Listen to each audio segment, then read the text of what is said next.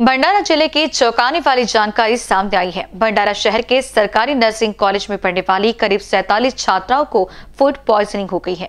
बताया जा रहा है कि कुल छात्रों की हालत गंभीर है। भंडारा के सरकारी नर्सिंग कॉलेज में 200 छात्र एएनएम और जीएनएम की पढ़ाई कर रहे हैं। रात को खाना खत्म करने के बाद कुछ छात्रों को अचानक उल्टी, जी मचलाना, सिर दर्द, बुखार होने लगा। इसके बाद कॉलेज प्रशासन ने तुरंत उन्हें इलाज के लिए जिला सामान्य अस्पताल में भर्ती कराया।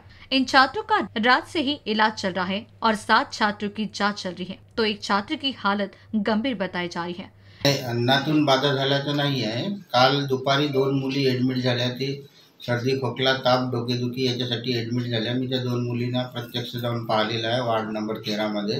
आणि त्याच्यानंतर रात्र तशाच प्रकारचे sign symptoms flu like sign symptoms घेऊन बाकीच्या मुली म्हणायला लागल्या की आम्हालाही त्रास होत आहे म्हणून.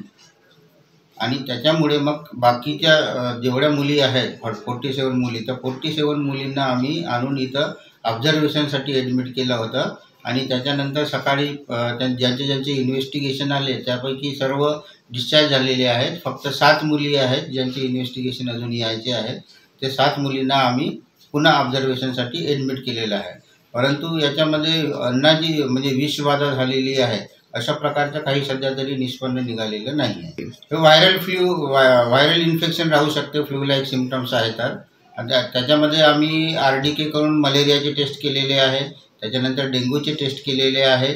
त्याच्यानंतर कोविडचे सुद्धा टेस्ट केलेले आहे. तर व्हायरल म या इन्फेक्शनमध्ये अशा प्रकारचे काही व्हायरॉलॉजीचे असेल तर ते आय डी एस पी जी टीम आहे आमची जिल्हा परिषदची त्या I D S P team मेंबरला बोलवून त्यांनीसुद्धा सॅम्पल घेतलेले आहे आणि त्या शॅम्पलचं जे रिपोर्ट येईल त्याच्यानुसार मग आपल्याला सांगता येईल की ॲक्च्युली त्याच्यामध्ये काय झालेलं आहे. एनबीसी न्यूज के लिए भंडारा से सुरेंद्र चिंदालोरी की रिपोर्ट